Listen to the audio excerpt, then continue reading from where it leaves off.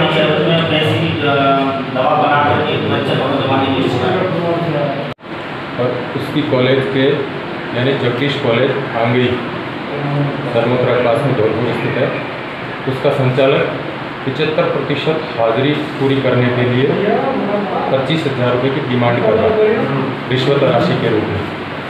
जिस पर कल दिनांक अट्ठाईस अप्रैल को भरतपुर स्पेशल यूनिट ने मांग सत्यापन करवाया और आज कार्रवाई जारी है।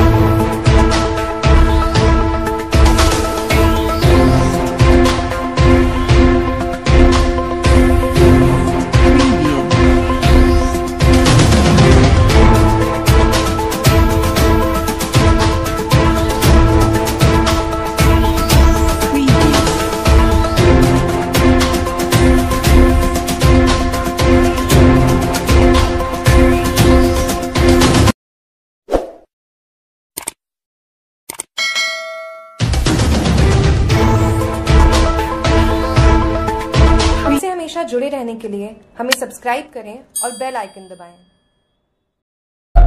नमस्कार, आप देख रहे हैं धौलपुर ज़िले का अपना न्यूज़ चैनल चंबल प्रभा धौलपुर ज़िले सहित अन्य न्यूज़ देखने के लिए चंबल प्रभा को सब्सक्राइब कर बेल आइकन ज़रूर दबा लें ताकि हर खबर आपको मिले सबसे पहले